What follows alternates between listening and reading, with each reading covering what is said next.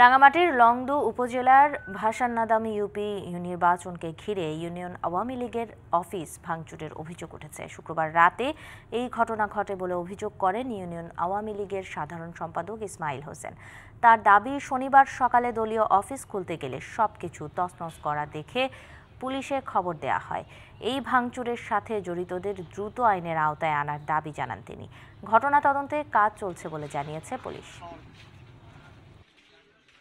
মানিকগঞ্জ সহ চার জেলায় সড়ক দুর্ঘটনায় আটজন নিহত হয়েছে। মানিকগঞ্জে ঢাকা আরিচা মহাসড়কে বাস চাপায় মারা গেছেন তিনজন। দুপুরে শিবালয়ের মহাদেবপুর বাসস্ট্যান্ড এলাকায় এই দুর্ঘটনা ঘটে। পুলিশ জানায় বরঙ্গাইল হাট থেকে অটোরিকশায় করে ফিরছিলেন জাহিদুল ও আব্দুর রহমান নামের দুইজন।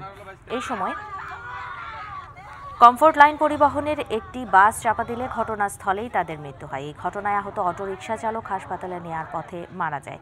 এদিকে গাজীপুরের কোনাবাড়িতে কড্ডা ব্রিজের পশ্চিম পাশে নিয়ন্ত্রণ হারিয়ে নিহত হয়েছে মোটরসাইকেলের দুই আরোহী। সিরাজগঞ্জের সলঙ্গায় আলাদা সড়ক দুর্ঘটনায় নিহত হয়েছে দুইজন।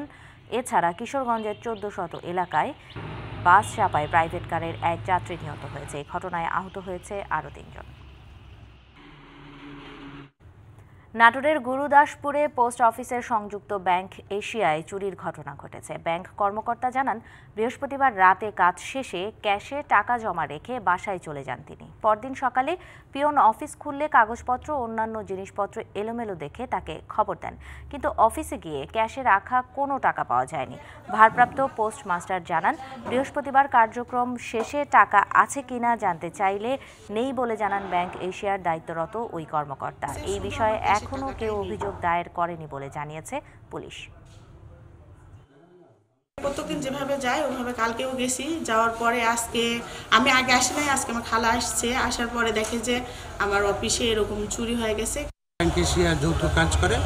ইনাদের টাকা থাকলে পরে ইনাদেরকে বলি যে আপনাদের কোনো টাকা পয়সা আছে কি না কালকে বললে ওরা বলে যে না আমাদের কোনো টাকা নাই। গত পঁচিশে জানুয়ারি হাইকোর্ট এক রিট আবেদনের প্রেক্ষিতে পার্বত্য চট্টগ্রামে এক সপ্তাহের মধ্যে অবৈধ ইট ভাটা বন্ধের নির্দেশ দেয়। একটি বেসরকারি সংগঠন পার্বত্য চট্টগ্রামে অবৈধ ইটভাটা বন্ধের আবেদন জানিয়ে হাইকোর্টে রিট করলে এক সপ্তাহের মধ্যে সব অবৈধ ইটভাটা বন্ধের নির্দেশ দেওয়া হয়। পাশাপাশি দুই সপ্তাহের মধ্যে আদেশ বাস্তবায়নের প্রতিবেদন আদালতে দাখিলের নির্দেশ দেওয়া হয়। এছাড়াও লাইসেন্স ছাড়া ইটভাটার তালিকা তৈরি করে ছয় সপ্তাহের মধ্যে আদালতে জমা দিতে বলা হয়েছে। নির্দেশনা কাগজপত্র হাতে এলে ব্যবস্থা নেওয়ার কথা জানিয়েছে স্থানীয় প্রশাসন।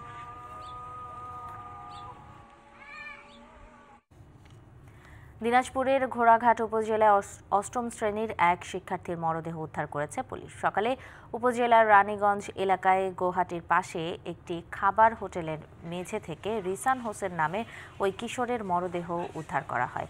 পুলিশের ধারণা, রাতে শিশুটির পায়ের রক কেটে ও জবাই করে হত্যা করেছে দুর্বৃত্তরা। রিসান উপজেলার কাশিগাড়ি পাঁচ মাথা এলাকায় লিটন মণ্ডলের ছেলে। কাজ করত রানীগঞ্জ বাজারের একটি খাবার হোটেলে। শুক্রবার রাত দশটা, দশটার দিকে মায়ের সাথে ফোনে দেরিতে বাসায় ফেরার কথা জানালেও ফিরে আসেনি রিসান। এই ঘটনায় দ্রুত ব্যবস্থা নেওয়ার আশ্বাস দিয়েছে পুলিশ।